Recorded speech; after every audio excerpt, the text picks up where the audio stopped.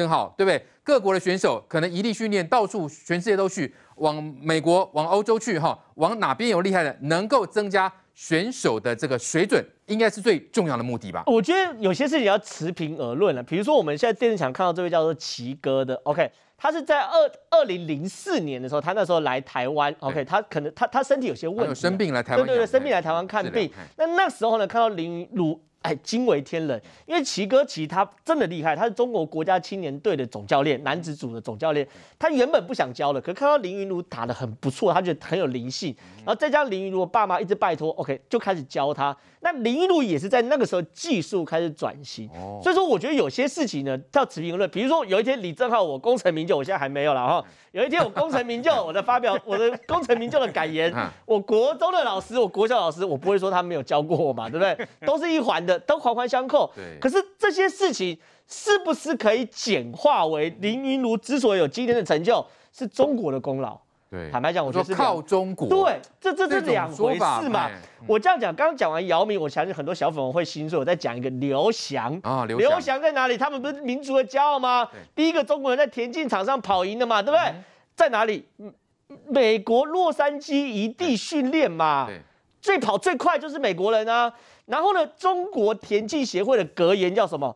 走出去，请进来。什么叫走出去，请进来？去外面训练啊！如果没办法去外面训练的话，把外籍教练请进来。那我今天可不可以说，中国体坛有今天的水准，请请去谢谢美国，美国培养出来的？你小粉红又要心碎了吗？我在问，你看那是以前啊，现在中国已经平视西方了。没有，这一届东京奥运，中国代表团里面有三十个外籍教练，十九个国家。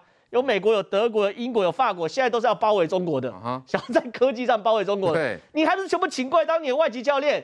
哎，到这一届的冬奥，尤其是田径项目，尤其是田径项目，一大堆外国人，尤其是美国人，在那边教中国人手把手教中国人怎么弄。那今天中国夺牌，我会说你这是靠美国的吗？没有人这样讲法不能那么狭隘，对吗？我们没有，我们没有要去吃人家豆腐，那你也不要来吃我豆腐吗？对，再来了，你今天林如如果是中国培养出来的。你要不要现在继续培养他？每天找樊登樊振中出出来跟他对练，每一天练到三年后，下一届巴巴黎奥运嘛，对不对？我一定可以干掉樊振东，敢不敢嘛？不敢嘛？你现在一定防他防得很紧嘛？对，一定防得很紧嘛？这是没什么好讲嘛？对，不要一副你们有功都是你们功。好，那这些我都算。我最不能接受就是说，我们拿金牌或我们夺牌的时候，他们央视出那种大看板，狂贺中国台北夺金牌。哎，你有没有搞错啊？你豆腐，对啊，你这是豆腐是吃好吃满呢。我们举重拿金牌，你这样吃完豆腐在奖牌榜会算你的吗？对。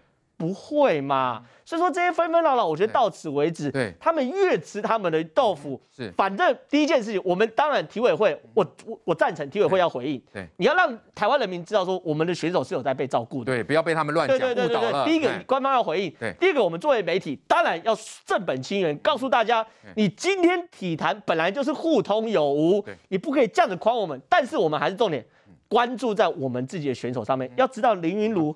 他本来的生涯规划是二零二四年的巴黎奥运，他自己这样想，他的教练这样想，他的家人这样想，对，就哎不小心，二零一九年才十七岁，世界杯男团男单都拿铜牌，对，打出名号，所以这次奥运才才有他的角色，对，所以说不管呢林云如这次什么样的角色，其实大家更期待是三年后，哎，以前常常讲奥运说一输要等四年，哎，今年越慢一年三年就好了，很快，二零二四年就我们总统大选，我光这样想就觉得很快，总统大选的那一年。林云儒又要代表台湾出赛，那一年其实才我认为才是他真的展翅高飞的时候。对，的确。